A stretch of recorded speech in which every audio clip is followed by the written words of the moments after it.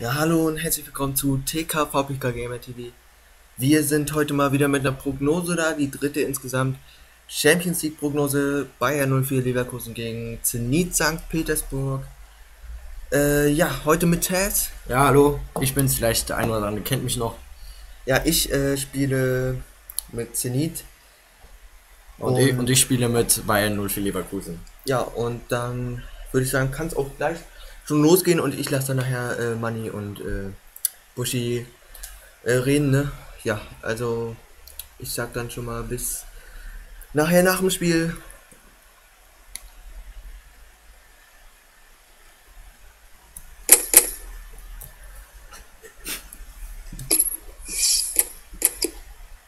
Ja, wir spielen natürlich fünf Minuten. Ähm, Ja. Profi-Waldstadion, okay, ist jetzt egal. Wie ist die egal, Herz, aber Alter, ja. 20, 30, ne? ich denke mal, also die Champions League fängt ja auch so ungefähr 20, 45 an. Ja, halt dazwischen. Ähm, ja, Teammanagement können wir noch schnell machen. Ja, wir wollen es ja natürlich auch realistisch machen. Also ich lasse meinen äh, mit den aktuellen Kader, weil ich kenne eigentlich wenig Spieler hier, außer vielleicht Hulk und äh, ja, wen vielleicht noch, keine Ahnung, Danny oder Danny, wie der heißt. Ja, ich nehme noch hier für Castro, weil Chanelulu, der hat ein Formtief. Und dann nehme ich wieder Castro als, als Spielmacher. Und ja, ich denke mal, so kann man ihn spielen. Ja, äh, dann kann es auch sofort schon losgehen. Bis, ja.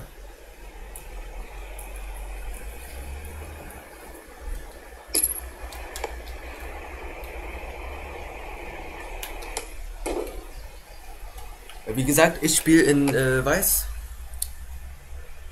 Leverkusen in Rot. Und dann kann es auch losgehen. Hallo und willkommen zum heutigen Freundschaftsspiel. Mein Name ist Manny Breukmann. Neben mir, wie immer, Frank Buschi Buschmann. Die heutige Begegnung Bayer Leverkusen gegen Zenit St. Petersburg. Das war der Anpfiff. Die Begegnung läuft. Wir freuen uns auf 90 Minuten hoffentlich tollen Fußball. Toprak. Er wackelt leicht, aber er bleibt einfach oben.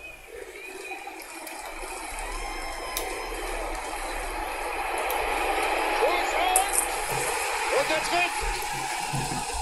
Ja, und das ist äh, 1 zu 0 von Leverkusen. Ja, Da hat, er, hat er in die Gasse gespielt, da genau wo, wo er stand und eiskalt verwandelt. Ja, und die äh, Leverkusener frühe Tore, also dafür ist Leverkusen ja bekannt. Für frühe Tore und Hiermit steht es ein 1 zu 0 für von Leverkusen, Bellarabi. für Leverkusen und mal sehen, wie es weitergeht.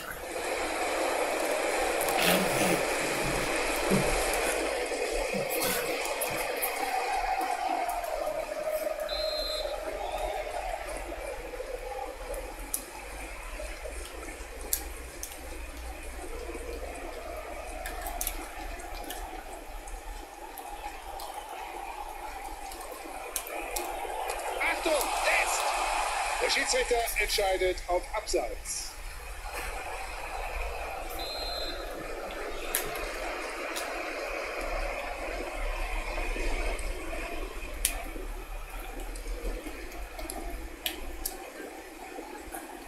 Achtung, sch- sofort abgezogen und, und der Ja, und da ist der Ausgleich, also frühe Tore nach 8 Minuten schon 2 zu 0.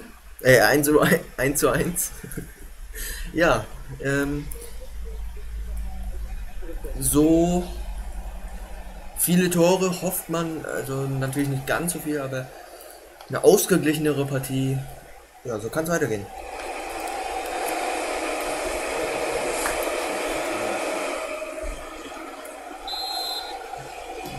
Castro. Kiesling.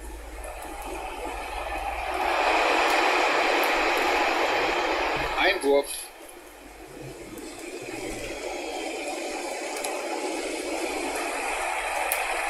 Die Chance. Toll, wie er das macht. Und, und der Ball ist drin. Ja, also ich habe da gar nichts mehr äh, gemacht. Ich dachte, der Ball wäre schon längst irgendwie vorbei.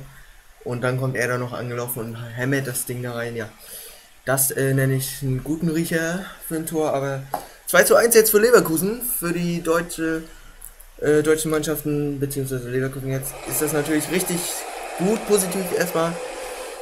Damit hätten sie sechs Punkte aktuell und wären momentan erster Platz. Ja, Ying Song. Das Spiel geht weiter.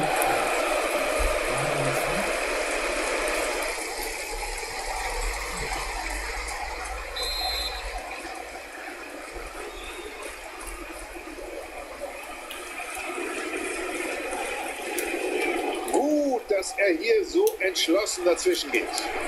Papadopoulos.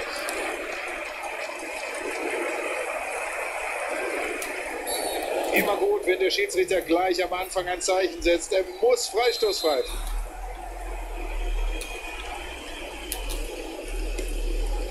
Lars Bender.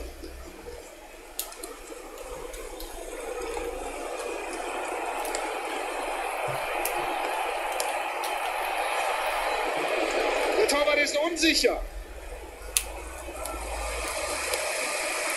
Jungminsson.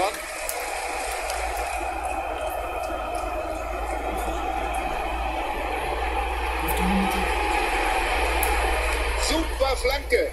Der Ball kommt gut rein. Trotzdem ist der Gegner zuerst dran.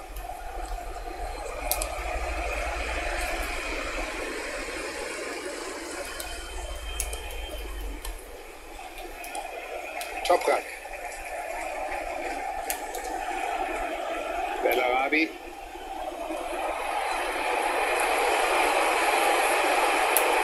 Oh! Castro!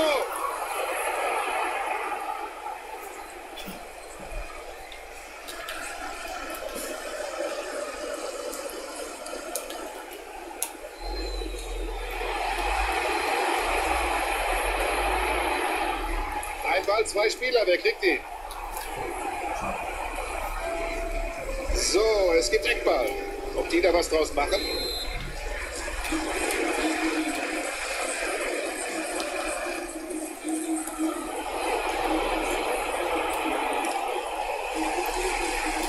Wird angeschossen und der Ball trudelt ins Aus. Bellarabi. Vielleicht war hier der Spielaufbau einfach ein Tick zu berechtigt. Jedenfalls steht am Ende der Ballverlust. Gutes Tackling auf der Außenposition.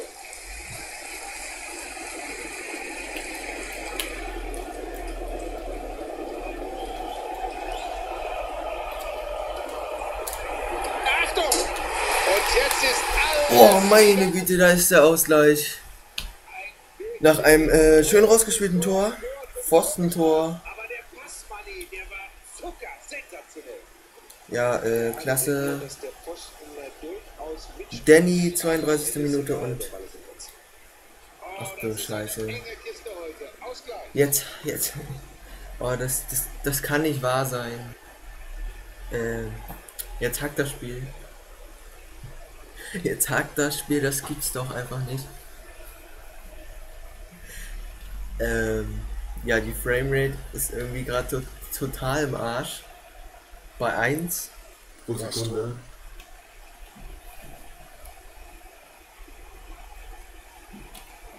Jetzt, jetzt äh, geht's wieder. Oh, endlich. Das war ja schrecklich gerade. Uh, Weitschuss knapp übers Tor. Ja, 2 zu 2. Aber es gibt eben diese bösen Spitznamen. Vizekusen, Leverkusen. Haben wir alle schon mal gehört.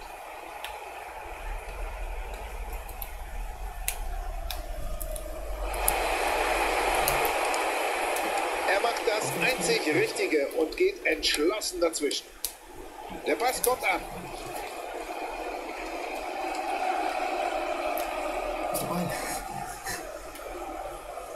Jetzt muss er ihn reinbringen. Geha gehalten, aber noch heiß.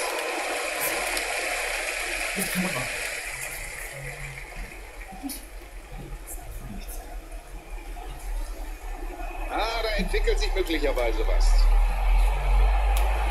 Das wird ganz gefährlich. Achtung! Der macht ihn doch rein. Das wäre die Führung gewesen. Eine Riesengelegenheit.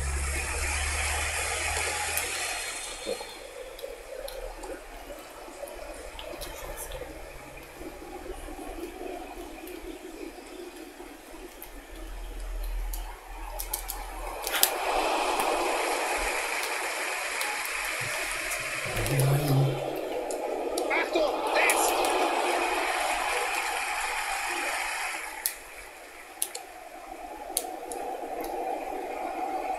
Jungminson. Und das sieht nach einer guten Torchance aus. Sie holen sich die Kugel auf den Flügel.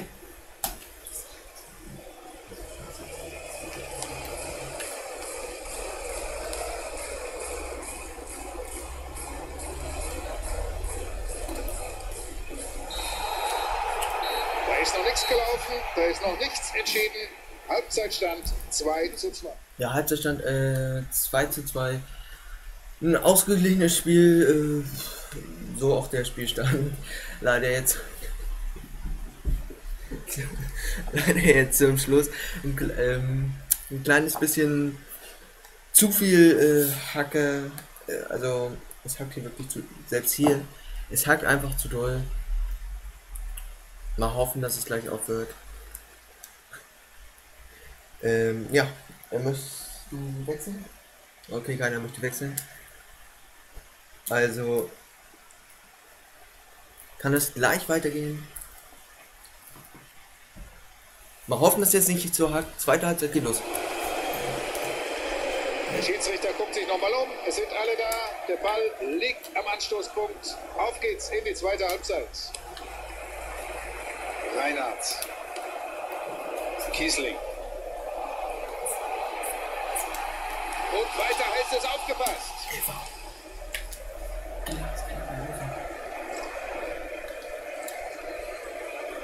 Jetzt haben sie sich den Ball im Mittelfeld zurückgeholt. Ah, ein klasse Doppelpass, ein Zungenschnalzer.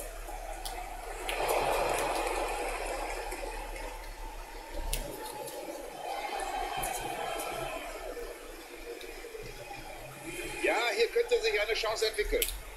Jetzt ins Tor. Und die Flanke landet genau bei einem Abwehrspieler.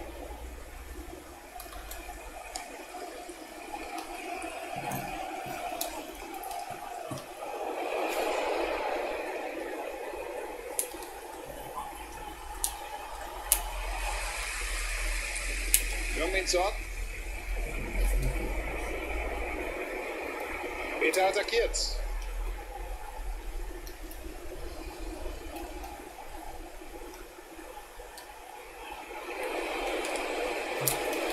Das steht er gut und deswegen hat er null Probleme.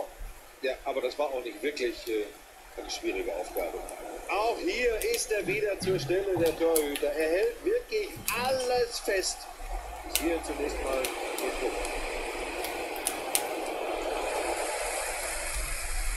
Reinhardt.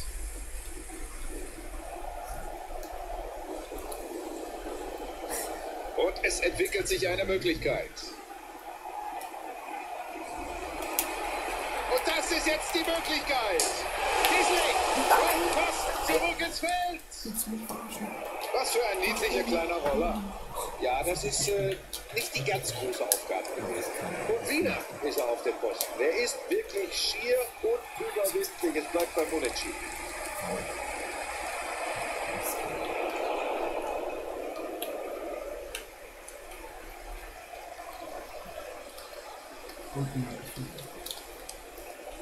Jetzt wird es brenzlig.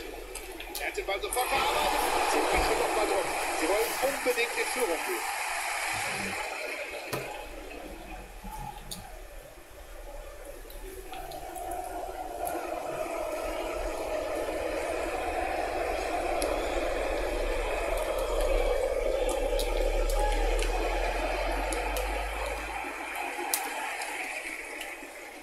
Abseitsentscheidung korrekt.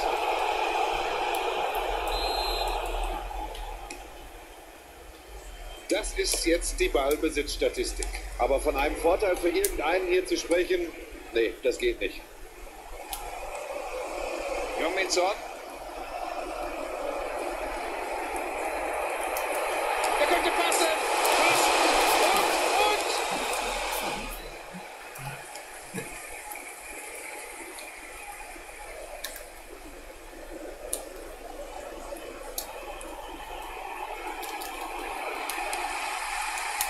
Bellarabi.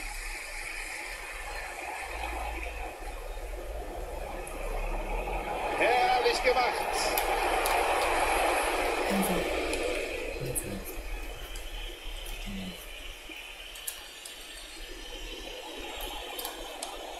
Weiter Pass auf Hulk. Bellarabi. Castro.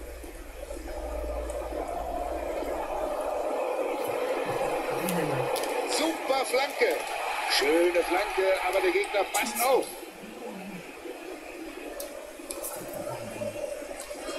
Der nächste Treffer wird die Entscheidung in dieser Partie bringen. Und, und jetzt! Ein Tor! Ein Tor! Ein Tor! Ah, schade, aber leider wohl kein Tor. Ja, äh, Zenit macht das 2 zu 3, aber abseits. Bittere- bittere Entscheidung für für Zenit, aber- ja, glücklich für Leverkusen. Abseits entschieden und das Tor nicht gegeben.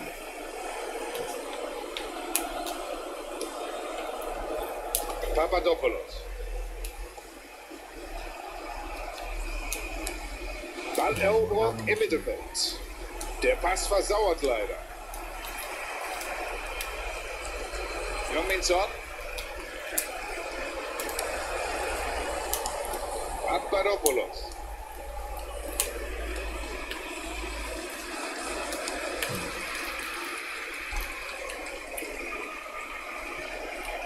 Da läuft er ganz.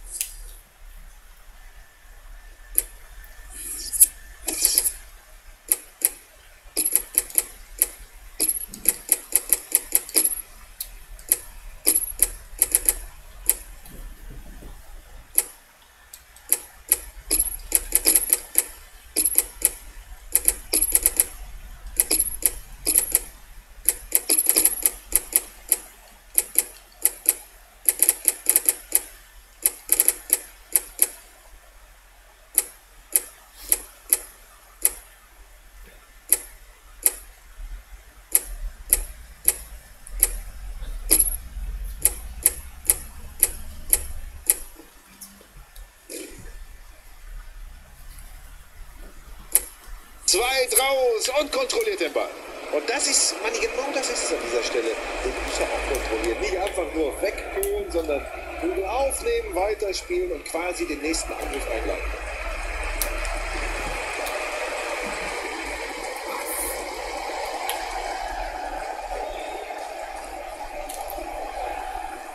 Er attackiert ihn, er will den Ball. Jetzt hat er den Platz, den er braucht.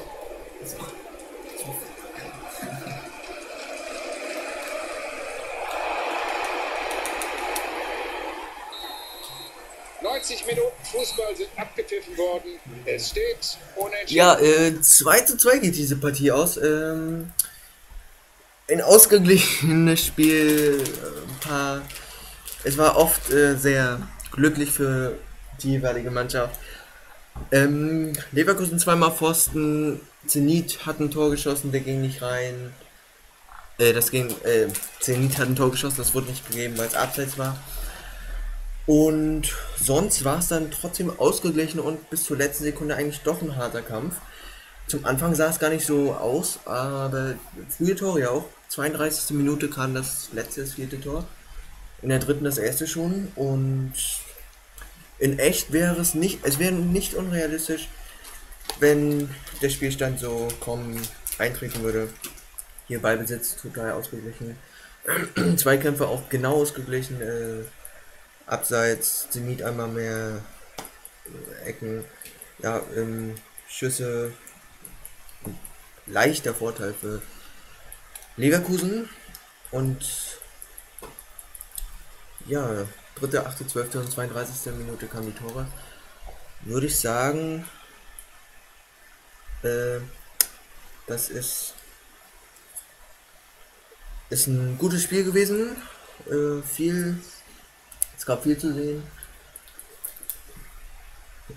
Äh,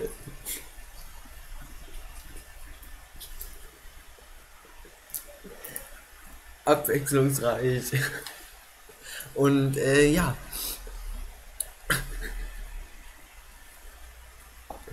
Ähm, dann würde ich sagen, äh, tschüss bis zur nächsten Prognose oder bis zum nächsten Mal.